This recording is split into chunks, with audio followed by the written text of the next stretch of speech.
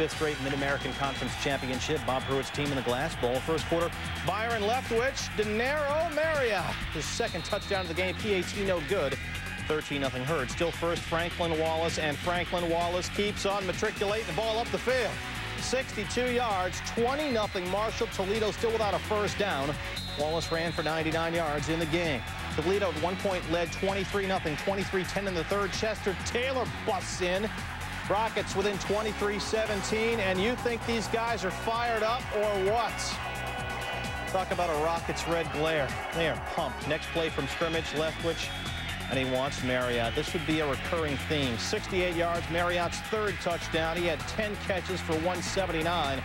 29-17 Herd. Still third down. Marshall up 29-24. Toledo field goal. But wait, it's a fake. They hand off to the kicker, Todd France, up the middle. And it's a 16-yard touchdown, 32-29 Toledo after the Rockets trail 23-0. Take another look. France wanted to hit somebody, so he hurls himself into the goalpost. You got to like that. Fourth quarter, more Marshall. Leftwich, Marriott. His fourth touchdown, 36-35 Herd. Leftwich, the MAC MVP, 32 of 52, 420 and four touchdowns. 10 minutes left. Marshall's Curtis Jones on the punt. Oh, Curtis.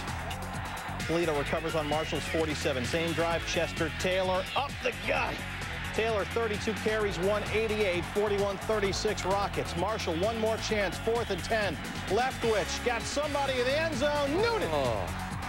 Toledo takes Ooh. over on downs. Curtis Jones, who muffed the punt, can't even bear to watch Toledo fans. And here they come. 41-36. What a ball game. Rockets first team other than Marshall to win the MAC championship game. Toledo ends the herd streak of four straight conference championships and avenges losses to Marshall in the 97 and the 98 MAC title games.